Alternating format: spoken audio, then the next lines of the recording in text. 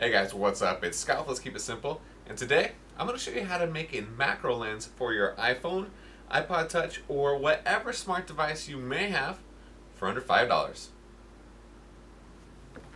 Now, there are some great companies like Olloclip or PhotoJojo that sell some great macro lens kits for an iPhone or iPod or even other smartphones out there. They work great, but they are pretty expensive. Olloclip has a bundle of three lenses that they sell for $70, while PhotoJojo sells a similar bundle for just $49, or an individual lens for just $20. But there's a way you can get the macro lens for under $5, and some of you cat or dog owners can most likely do this right now for free. Just whip out that laser pointer that you tease your pet with for hours, because when you take it apart, you can use the lens inside as a macro lens. Did you ever think of that? Step 1 Go out and buy an ordinary laser pointer, 99 cent store, Fry's, Walmart, and just make sure it is a single lens. Step 2. Disassemble the laser pointer. You want to find the circular lens inside the laser pointer.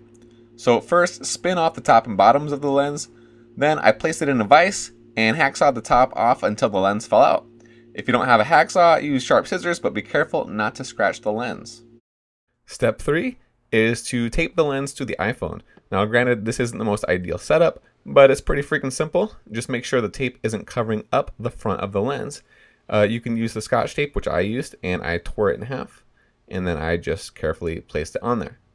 And kaboom! Now you have a macro lens on your smartphone and are ready to take some macro shots.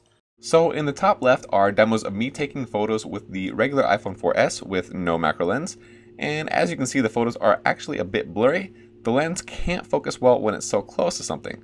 However, you can see the bottom right iPhone 4S with the macro lens does a much better job of focusing and can actually take some pretty cool pictures with interesting effects. Here are a couple examples of shots with the macro lens. One thing to keep in mind when using the macro lens is you need to be less than an inch away from the subject when you take the photos and you'll have a very narrow range of depth. But it is a cheap solution if you don't want to break the bank.